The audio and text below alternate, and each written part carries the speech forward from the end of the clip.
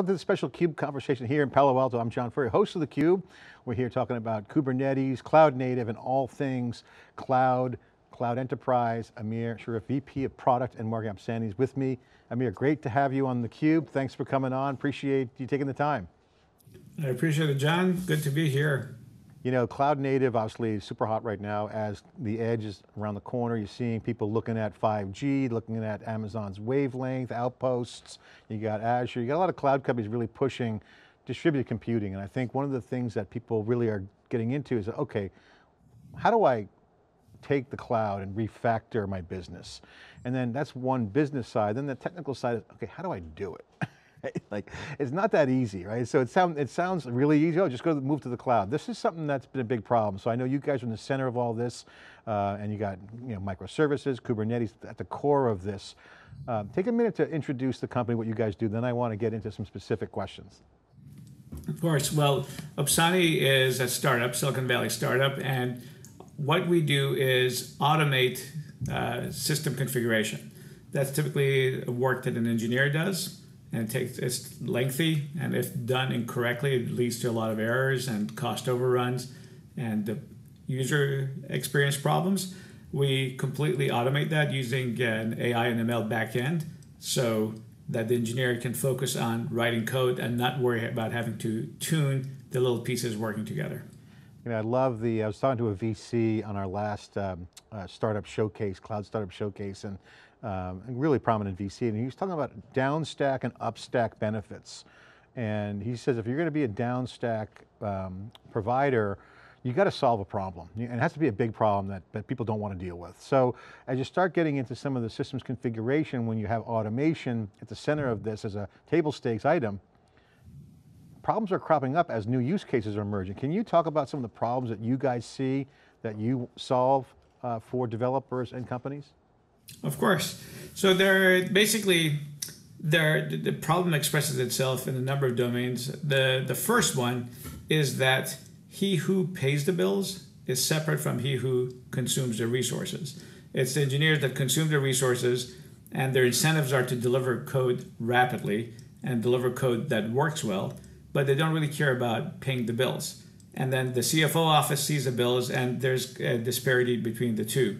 The reason that creates a problem, a business problem, is that the developers uh, will over provision stuff uh, to make sure that everything works, and uh, they don't want to get called in the middle of the night. Uh, you know, the bill comes due at the end of the month or end of a quarter, and then the CFO you know, has smoke coming out of his ears because there's been cloud over overruns. Then the reaction happens to, all right, let's cut cost, and then you know, there's an edict that comes down that says everything, uh, reduce everything by 30%. So people go across and give a haircut to everything. So what happens next? The system's out of balance. Uh, there's uh, allocation, uh, resource misallocation, and uh, systems start uh, suffering. So the customers become unhappy. And ironically, if you're not provisioned correctly, not ironically, but maybe understandably, customers start suffering. And that leads to a revenue problem down the line if you have too many problems unhappy. So you have to be very careful about how you cut costs and how you uh, apportion resources. So both the revenue side is happy and the costs are happy because it all comes down to product experience and what the customers consume. You know, that's something that everyone who's done cloud development knows you know, you know, whose fault is it? You know, it's this fault. But now you can actually see the services. You leave a switch open or, you know, I'm oversimplifying it, but, you know, as you experiment with services, you can, the bills can just have massive, you know, overruns. And then, and then you got to call the cloud companies, and you got to call the engineers up and say, why did you do this? You got to get a refund, or or the bad one bad apple could ruin it for everyone, as you as you highlighted more of the bigger companies. So I have to ask you, I mean, everyone lives this. How do companies have cost overruns? Is there patterns that you see that you guys wrote software for to to automate the obvious ones? Is there low? Is there certain things that you know always happen? Are there areas that have some uh, indications? So why do first of all, why do companies have cloud cost overruns?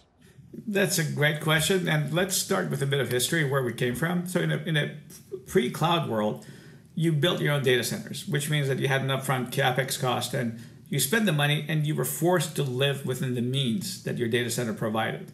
You really couldn't spend any more. That provided kind of a predictable expenditure model. It came in big chunks, but uh, you know what your budget was going to be four years from now, three years from now, and you built for that. With the cloud computing, your uh, consumption is now on an on-demand basis and it's API enabled. So the developer can just ask for more resources. So without any kind of tools that tell the developer, here is X amount of CPU or X amount of memory that you need for this particular service that uh, for it to deliver the right uh, performance that for the customer, the developer is incentivized to basically give it a lot more than the application needs. Why? Because the de- developer doesn't want to pick up service tickets.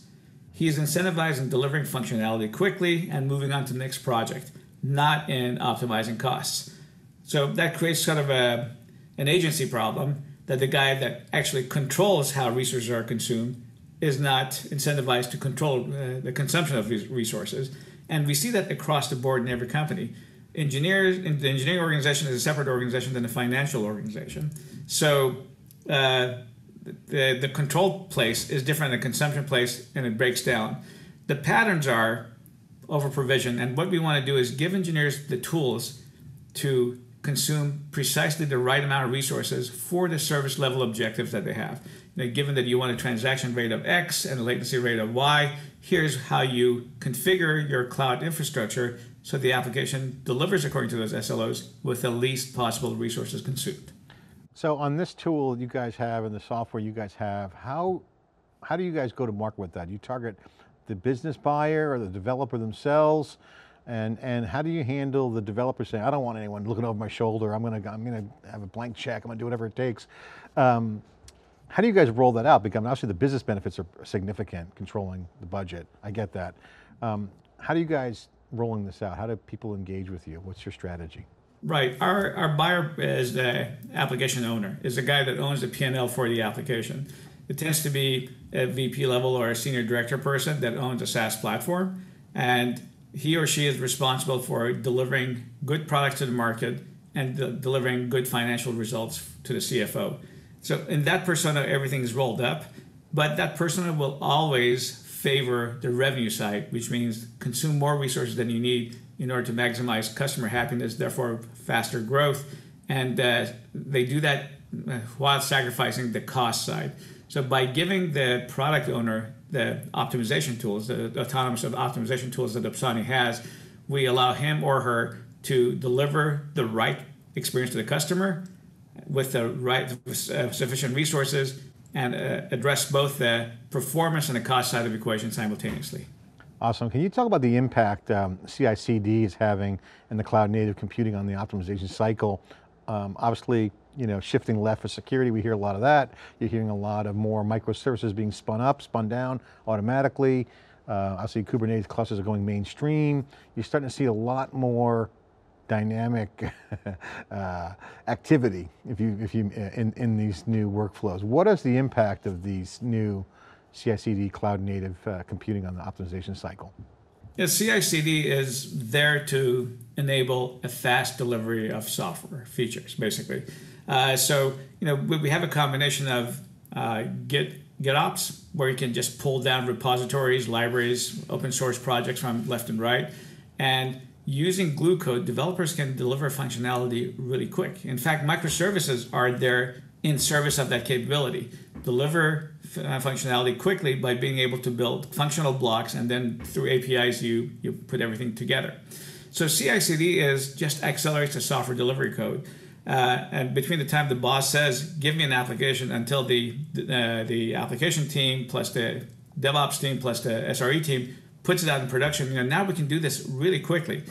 The problem is though, nobody optimizes in the process. So when we deliver 1.0 in six months or less, we've done zero in terms of optimization, and that 1.0 becomes a way that we go through QA in many cases, unfortunately, and it also becomes a way that we go through the optimization.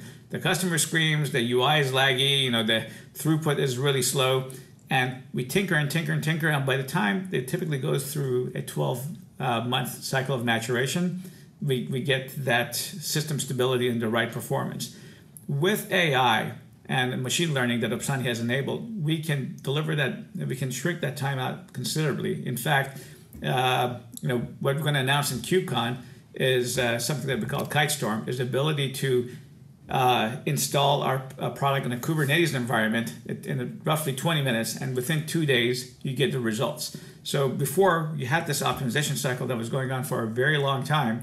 Now that's it's shrunk down, and because of CI/CD, you know you don't have the luxury of waiting, and the system itself can become uh, part of the way of configuring your system. The system being the uh, AI ML service that the Opsani delivers can be uh, part and parcel of the CI/CD pipeline that optimizes the code and gives you the right configuration at the get-go. So you guys are really getting down and injecting in some meta uh, instrumentation for metadata around key areas. Is that right? Is that kind of how it's working? Are you getting in there with code to kind of watch? Um, how was it working under the hood? Can you just give me a quick example of you know, how this would play out and what people might expect, how it would handle? Of course. Uh, so what the way we optimize application performance is we have to have a metric against which we measure performance. That metric is an SLO, service level objective. And in a Kubernetes environment, we typically tap into Prometheus, which is the metrics uh, gathering place, metrics database for Kubernetes workloads. And we really focus on red metrics uh, the rate of transactions, the error rate, and D for delay or latency. So we focus on these three metrics. And uh, what we have to do is inject a small container, it's an open source container, into the application workspace. Uh, we call that uh, container Servo. Servo interacts with Prometheus to get the metrics, and then it talks to our backend to tell the ML engine what's happening. And the ML engine does this analysis and comes back with a new configuration, which then Servo implements in a Canary instance. So the Canary instance is where we run our experiments and we compare it against the main line, which the application is doing. After uh, roughly 20 iterations or so, the ML engine learns what part of the problem space to focus on in order to optimize, to, to deliver the optimal results. And then it very quickly comes to the right set of solutions to try. And it, it tries those inside, a, uh, inside the Canary instance. And when it finds the optimal solution, it gives the recommendation back to the application team, or alternatively, when you have enough trust in Opsani, you can auto promote it into mainline. That's awesome. That's Gets the learning in there. This is a great example of some cloud native action. I want to get into some examples with your customers, but before we get there, I want to ask you, since I have you here, Amir, if you don't mind, what does cloud native mean these days? Because you know, cloud native has become kind of much, say, oh, cloud computing, um, which essentially go move to the cloud.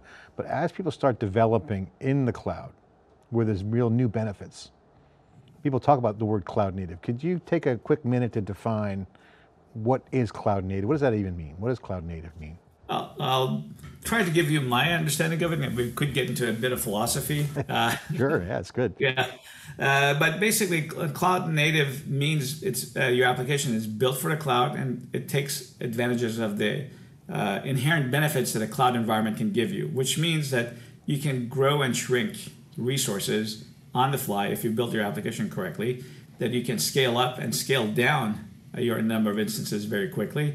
And uh, everything is taking advantage of uh, APIs. So initially, that was kind of done inside a VM environment. Uh, uh AWS EC2 is a perfect example of that. Kubernetes made, uh, shifted cloud native to a containerized workload because it allows for rapid, more rapid deployment, and even enables or it takes advantage of a, of a more rapid development cycle. As we look forward, cloud native is more likely uh, to be a, a, serverless environment where you write functions and the backend systems of the cloud service provider just give you that capability, and you don't have to worry about man, man, maintaining and managing a uh, fleet of any sort, whether it's VMs or containers. That's where it's going to go. Currently, we are a containerized phase. So as you start getting into the serverless model, you get Lambda, which everyone's been playing with, loves it. As you get into that, that's going to accelerate more data. So I got to ask you, as you get into more of this, this mon I won't say monitoring or observability, however you want to look at it, you got to get at the data. This becomes a critical part of solving a lot of problems and also making sure that the machine learning is learning the right thing. How do you view that, uh, you guys over there? Because I think everyone's like getting that cloud native, and they, it's not hard sell to say that's all good. Mm -hmm. But mm-hmm. where it can go bad it's, you know, you know the expression ships created ships and then you have shipwrecks. You know, there's always a, a double-edged sword here. So what's the downside if you don't get the data right? Uh, well, so the for us the problem is not too much data; it's lack of data. So if you don't get data right, is you don't have enough data, and the places where optimization uh, cannot be automated is where the transaction rates are slow, where you don't have enough throughput coming into the application, and it really becomes difficult to optimize that application with any kind of speed. Uh, you have to be able to profile the application long enough to know what moves its needle, uh, and in order for you to hit the SLO targets. So it's not too much data. It's not enough data that seems to be the problem. And uh, there are a lot of applications that are expensive to run, but uh, but have a low throughput. And I, I would, uh, in, in, in, all cases, actually, in every customer environment that I've been in where that's been the case, the application is just uh, over provisioned. If you have a low throughput environment and um, it, it's costing too much, don't use ML to solve it. That's a wrong application of the technology. Just take a sledgehammer and you back your resources by 50%, see what happens. And if that nothing breaks, then back it again until you find the breakage point. Yeah, exactly. You, first you overprovision, then you bang it back down again. It's like, you know, the old school. Now with the cloud, take me through some examples where you guys had some success. Obviously you guys are in the right area right now. You're seeing a lot of people looking at this area to, to do that, and in some cases sledgehammer their whole data center and refactor their business. But as you get it with customers with the app side, what are some successes? Can you share um, some of the use cases that you guys are being successful with your customers? Can give some examples? Yeah, so um, um, a well-known financial software for mid-sized businesses that, that does accounting. You know, it's uh, uh, they're our customer. They're in a large fleet, and this product has been around for a while. This is not a containerized product. This uh, product runs on VMs, and Java is a large component of that. So uh, the problem for this particular vendor has been uh, that they run on a heterogeneous fleet. That the application has been a, a long, uh, uh, around for a very long time, and as new instance types on AWS have come in, uh, developers have used those. So the fleet itself is quite heterogeneous. And um, depending on the time of the day and what kind of reports are being run by, by organizations, the, the mix of resources that the applications need are different. So uh, when we started analyzing the stack, we, start, we started looking at three different tiers. We, looked at the database level, we looked at the Java mid tier, and we looked at the web front end. And uh, one of the things that uh, became counterproductive is that ML discovered that using for the mid tier, using larger instances, but fewer of them, allowed for better performance and lower cost. And uh, you know, typically, yeah, your gut feel is to go with smaller instances and more of them, a larger fleet, if you would. But in this case, uh, what the ML produced was completely counterintuitive. And the net result for the customer was a 78% cost reduction while latency went down by 10%. So think about it that your the response time is less uh, you know, is, is 10% less, but your costs are down almost 80%, you know, 78% in this case. And the other artifact that happened in the Java mid tier is that we improved garbage collection significantly. And because of, whenever a garbage collection happens on a, in a, a, JVM, it takes a pause. And that, from a customer pers- perspective, it reflects as downtime because the machines are not responding. So by tuning garbage collection on JVMs across this very large fleet, we were able to recover over 5,000 minutes a month across the entire uh, fleet. So uh, this, these are some substantial savings, and this is what uh, the right application of machine learning on a large fleet can do for a SaaS business. And so talk about this fleet dynamic. You mentioned serverless. How do you see the future evolving for you guys? Where are you um, skating to where the puck is, as the expression goes? Um, obviously, with serverless, is going to have essentially unlimited fleets potentially that's going to put a lot of power in the hands of developers, okay, and right. people building experiences. What's the next five years look like uh, for you guys? So, uh, looking at the product from a product perspective, uh, the serverless market depends on the mercy of the cloud service provider. And typically, the algorithms that they use, uh, it, uh, basically, they keep very few instances warm for you until your the rate of API calls goes up and they start uh, they start uh, start turning on VMs or containers for you, and then the, the system becomes more responsive over time. One place that we can optimize the serverless environment is give predictability of what the cyclicality of load is. So we can pre-provision those instances and warm up the engine before the loads come in so the system always uh, stays responsive. Now, you may have noticed that some of your apps on your phone that when you start them up, they may have a startup like a minute or two, especially if it's a esoteric app. What's happening in those cases is you're starting an API calls goes in, a container is being started up for you to serve up that instance. Not enough of them are warm to give you that rapid response, and that that can lead to customer churn.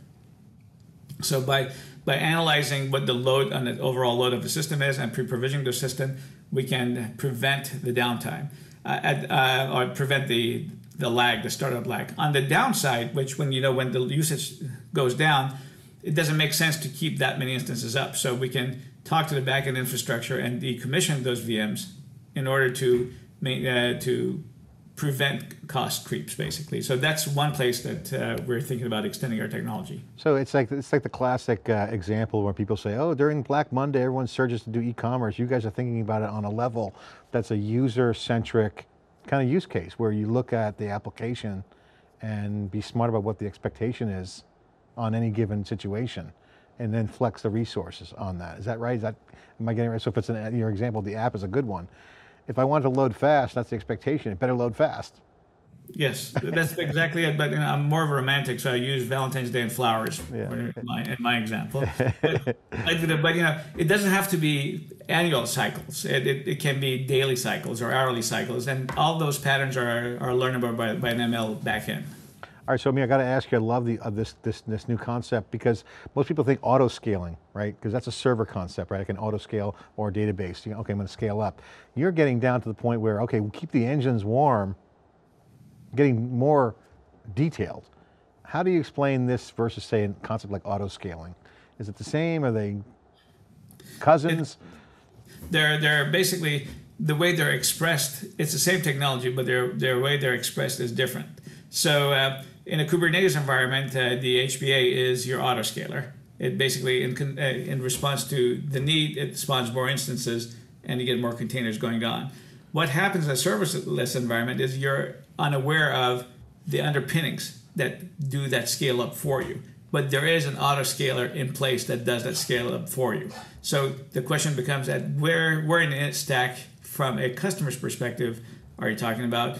If you're managing your instances, we're, we're dealing with the HPA. If you're managing uh, at, the, at the function level, we have to have API calls on the uh, service pro- provider's infrastructure to to pre-warm up the engine before the load comes. Yeah, I love it. I love this under the hood. It's kind of love new dynamics, kind of the same wine, new bottle, but still computer science, still coding, still cool and relevant to make these experiences great. Okay, thanks for coming on this CUBE conversation, I really appreciate it. Take a minute to uh, put a plug in for the company. What are you guys doing in terms of status, funding, scale, employees, what are you looking for? And if someone's watching this and they should be a customer of you guys, what, what, what's, what's going on in their world? What tells them that they need to be calling you? Yeah, so we're Series A. We've had uh, the privilege of, uh, or yeah, we've been uh, privileged by having uh, very good success with large enterprises. Uh, if you go on our website, you'll see the logos uh, of who we have. We will be at KubeCon, and there uh, we're going to be actively targeting the mid market uh, or smaller Kubernetes instances. As I mentioned, it's going to take about uh, 20 minutes to get started, and, and we'll show results in, in two hours. And our goal is for our customers to deliver the best user experience in terms of performance, reliability, uh, so that they, they delight their customers in return and they do so without breaking the bank. So deliver excellent products, do it at the most efficient way possible, deliver good financial results for your stakeholders. This is what we do. So we encourage anybody who is running a SaaS company to come and take a look at us because we think we can help them and we can accelerate their their growth at a lower cost. And the last thing people need is have someone coming breathing down their neck saying, hey, we're getting overcharged. Why are you guys screwing up? When they're not, they're trying to make a great experience. And I think this is kind of where people really want to do push the envelope and not have to go back and revisit the cost overruns. Which, if you, it's a good, it's actually a good sign if you get some cost overruns here and there because you're experimenting. But again, you don't want it to get out of control. You don't want to be habitual like a U.S. debt. exactly. Amir, thank you for coming on. Great. We'll see you at KubeCon. The Cube will be there in person. It's a hybrid event, so uh, KubeCon's going to be awesome. And thanks for coming on the Cube. Appreciate it. John, it's a pleasure. Thank you for having me on. Okay, I'm John Furrier with the Cube here in Palo Alto, California. Remote interview uh, with Opsani Hot Startup Series A. I'm sure they're going to do well in the right spot in the market. Uh, really well poised in cloud native. Thanks for watching.